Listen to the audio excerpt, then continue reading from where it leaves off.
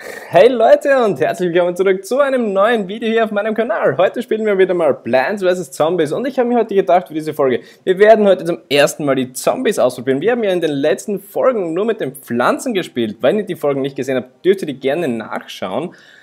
Da findet ihr eine Playlist auf meinem Kanal. Schaut einfach vorbei, wenn es euch interessiert. So, und ja, da Ranglistenspiel werden wir auch noch dazu kommen, aber zuerst spielen wir mit den Zombies. So, Zombie-Missionen, auf geht's. Mit dem Super Brain spielen wir hier. Wir haben ja eh noch kein anderes Deck, also geht's mal los spielen. Bin gespannt, wie sich das Ganze so spielt. So, Brain Battlers, Grillen um Mitternacht, okay. Ja, die ganzen Comics lese ich jetzt nicht vor. Grüner Schatten vs. Superbrain. Mit Grüner Schatten haben wir schon mal gespielt, aber mit Superbrains noch nicht. Gegen den haben wir nur gespielt. So, Zombie-Karten, mal was komplett anderes. Bin gespannt, wie das so ist. Und hier haben wir auch schon eine Megakarte. Sei gegrüßt, Zombies brauchen Hirne, um Karten zu spielen, weil wir clever sind. Okay, okay, okay, alles klar. So, deswegen, ja, Anti-Held also der bekommt plus 3, wenn er bei einem Held gegenüberstellt. Der Mini-Ninja hat die Fähigkeit Anti-Held. Er ist viel stärker im leeren Reihen. Ja genau, das wollte ich sagen. So, die Pflanzen spielen. Und als Zombie hat man ja noch diesen einen Effekt, oder? Den Zombie-Tricks hier. Bin mal gespannt, wie das so ist. Denn die haben mir mal immer ziemlich genervt, wenn ich gegen Zombies gespielt habe. Mal schauen, was das so für taktische Vorteile bringt. So, jetzt haben wir hier noch so einen Kamera-Zombie. Keine Sorge, du kannst hier eine später im Zug für Tricks ausgeben. Na gut. Na gut, na gut, na gut. Bringt plus 1 plus 1, wenn du einen Trick einspielst. Alles klar. Können wir sonst noch was spielen? Was ist das? Verle verlege einen Zombie. Er führt einen Bonusangriff aus. Okay. Die Pflanzen spielen. Was spielen sie so? Fünfer Angriff schon in der mittleren Reihe. Oh nein, wieso muss ich genau in der mittleren Reihe das eine Zombie hier spielen? Das ist natürlich jetzt weg. Das ist deine Chance, den Trick zu spielen. Okay, dann spielen wir. Nutze die eine Rauchbombe, um aus der Reihe zu entfliehen. Na gut, dann setzen wir eine Rauchbombe ein. Da, in die Mitte. Oh nein, wir haben gesagt in die Mitte nicht, aber ich hoffe, das setzt er nicht nochmal ein. Jo. So, der Gegner hat natürlich nur mehr 16 Leben. Ich habe jetzt 3. Äh, 3 Angriff auf meiner Seite. Und noch 19 Leben. Der Gegner 1, 1, Angriff, da ich Angriff mit den 3 Zweier. Yes. So, da weiter geht's. Wir haben jetzt drei Hirne zur Verfügung. Was gibt das? Bonusangriff für einen Zombie. Hm, Zombies sind zuerst dann spielen Pflanzenkarten. Ja, dann sind die Zombie-Tricks. Und dann ist der Kampf. Ja, also, weiter geht's. Das weiß ich ja schon alles. Ihr hoffentlich auch, falls nicht. Ja, habt, wisst ihr es jetzt? Spielt ihr das Spiel auch? Schreibt es noch mal in den Kommentaren, wie ihr das so findet. So, Bonusangriff für einen Zombie. Brauche ich das wirklich? Nein, zerlege einen Zombie, er führt einen Bonusangriff aus. Okay, verlege einen. Ja, ich will den wirklich verlegen. Hier. Wow, wow, wow, wow, wow, wow, wow. Und dann setzt er auch gleich einen Angriff an. Ui, ui, ui, das ist mal sehr, sehr interessant hier zu spielen. Bonusangriff für einen Zombie. Ja, dann setzen wir gleich hier nochmal einen Bonusangriff auch ein. Der setzt gleich nochmal 4 Schaden. Und jetzt gehen wir in den Kampf. Dann sollte der Gegner auch, er spielt glaube ich jetzt die Verteidigung. Jetzt wird sein Schild aktiviert. Habe ich das Gefühl, jupp, hier wird es aktiviert. Und ja, zum Glück nicht so viel. Bring, wenn du einen Trick ausspielst. Okay, deswegen hat er schon 5-4. Der stinkende Zombie ist tödlich. Er kann selbst die größte Pflanze bezwingen. Okay, okay, okay. Zombie spielen. So, 4-4 setzen wir hier rauf. Das sollte das auch schon gewesen sein mit dem Gegner. Oh nein, oder auch nicht, denn ja genau, zuerst spielen ja die Zombies und dann die Pflanzen, also er kann immer kontern, deswegen haben wir ja auch die Tricks. So, jetzt weiß ich auch den kleinen, aber feinen Vorteil, wenn man die Pflanzen spielt. Hm, jetzt bin ich eingefroren, das war nicht so gewollt. Nein, nein, nein, nein, aber wenigstens ist diese eine Pflanze hin und ich bin da. Ziehe zwei Karten. Ja, zum Spiel. Natürlich spielen wir das. Wieso sollte ich die nicht spielen wollen? Ist egal, wann ich die zwei Karten ziehe. Kommt ihr immer aufs selbe. So, jetzt bin ich wieder aufgetaut. Sollte aber reichen, dass ich im nächsten Zug ihn besiegen kann. Ich hoffe es natürlich. So, spielen wir mal da. Habe ich noch ah, Nummer 1 hier geht sich nichts mehr gut aus. Zerstöre eine Pflanze mit 5 oder mehr. Ja, leider hat der Gegner keine Pflanze mit 5 oder mehr. Hm. So, was gibt es? Verlege einen Zombie, erhält plus 1. Hm. Tja, verlegen wir einfach den nochmal irgendwo hin. Aber wir können den Gegner auch immer nicht bezwingen, denn ja, wir, wir fügen nur die vier Schaden zu und das war's dann auch schon. Hm, hm, hm, spannend, spannend, spannend. Ich habe natürlich noch 10 Punkte, aber so, ich sollte das Match auf jeden Fall gewinnen. Wäre auch blöd, wenn nicht. Wir haben jetzt wieder die Verteidigung eingesetzt. Alle Zombies sind tödlich, okay? Und ziehe eine Karte. Na dann setzen wir das natürlich ein. Ich meine, ist ja nicht schlecht. Und der, ich buffe das Ding gerade so rauf, Leute. Anti-Held. Hm, nö, da ist nämlich ein Held, das auch noch amphibisch. Und jetzt greifen wir an und dann sollte das... Ach ja, die Pflanzen spielen ja noch. Du hältst jeden Zug mehr hin. Ja, das weiß ich. So, du hast jeden Zug mehr hin und du kannst dich tun. Ziehe zwei Karten. Ja, setzen wir es halt ein als Zombie-Trick. Und jetzt auf in den Kampf. Wir zerstören hier alles. Das ist tödlich und der ist sowieso schon weg und der ist auch weg. Und da ist auch schon der gegnerische Held am Boden zerstört. Wir haben ihn besiegt. Das erste Mal mit den Zombies. Yes, gewonnen. So, ein neuer Zombie-Held. Brauche ich noch etwas? Gewinne in einem Spiel, gewinne ein Spiel mit einem Zombie-Helden. Okay, haben wir gemacht, jetzt bekommen wir natürlich wieder Juwelen. Gewinne zwei Spiele als Super Brains. Wieso hat dieses Spiel jetzt nicht gezählt? Das ist aber blöd. So, Auftrag erfüllt. Super Brains. Neuer Auftrag. Spiele zwei Zombies mit der Fähigkeit Anti-Held. Das wird, glaube ich, im nächsten Spiel machbar sein. Das spielen wir jetzt auch gleich. Wir haben ja keine Karten oder so bekommen. So, wir spielen gegen Spudo. Der Spudo sieht ja eigentlich richtig, richtig süß aus, aber hat Faustdick hinter den Ohren, der Schlingel. Ja, so, hier haben wir den Spudo. Erneut ziehen oder Startkarten behalten. So, da sieht ja eigentlich... Ja, den will ich neu ziehen. Okay, haben wir die gleiche Karte bekommen. Was ist das für ein Algorithmus?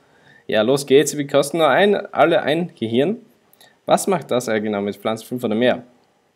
Spudo ist der mächtigste aller Knollen, aber lass mich etwas weiter ausholen. Er wird sich verteidigen, bis der richtige Moment gekommen ist, zum Angriff überzugehen. Er bleibt lang, er liebt lange Spiele, also nicht nachlässig werden. Okay, ja, werde ich machen. So, was macht das? Hat das irgendwelche spezielle... Ja, der Anti-Held werden wir natürlich spielen.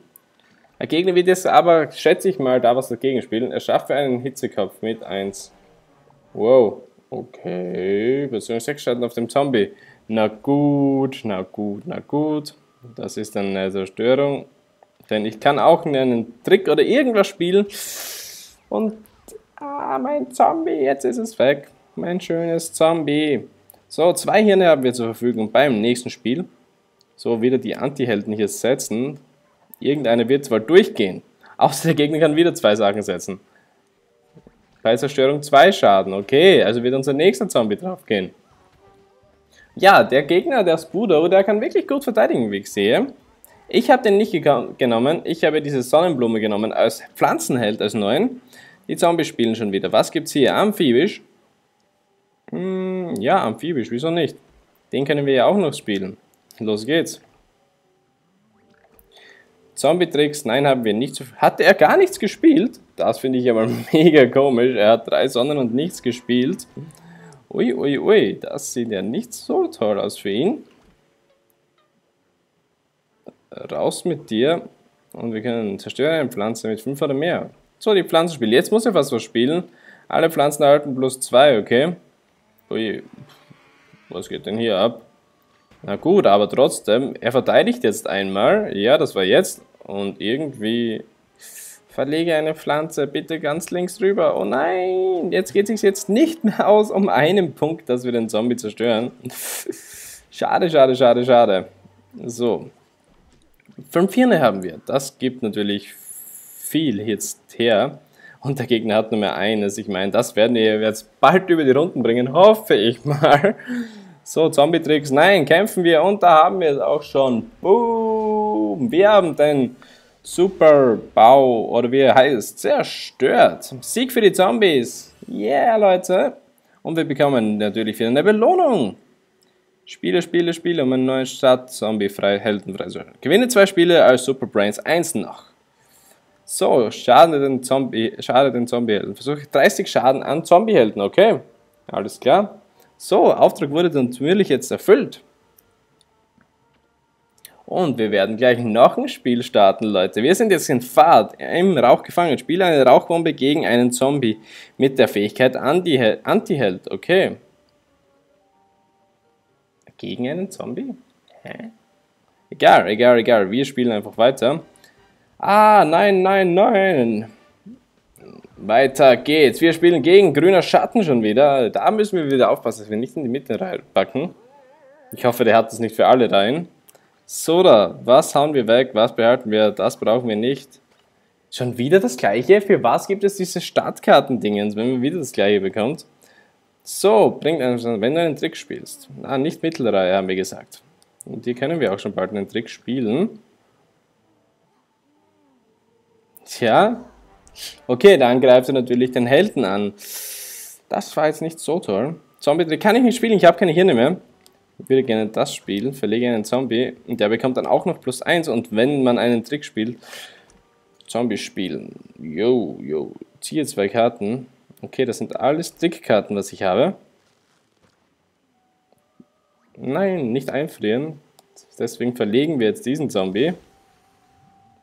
Und jetzt haben wir plus 3. Ja, ja, richtig gehört, Leute. Wir haben plus 3 bekommen. Also plus 2, also wir haben 3, meine ich damit. Weiter geht's. Mal bin gespannt, was der Gegner so hat. So, ui, ui, ui. Jetzt sind wir natürlich etwas hinten, aber wir haben jetzt das Amphibisches, Grabstein und Tödlich.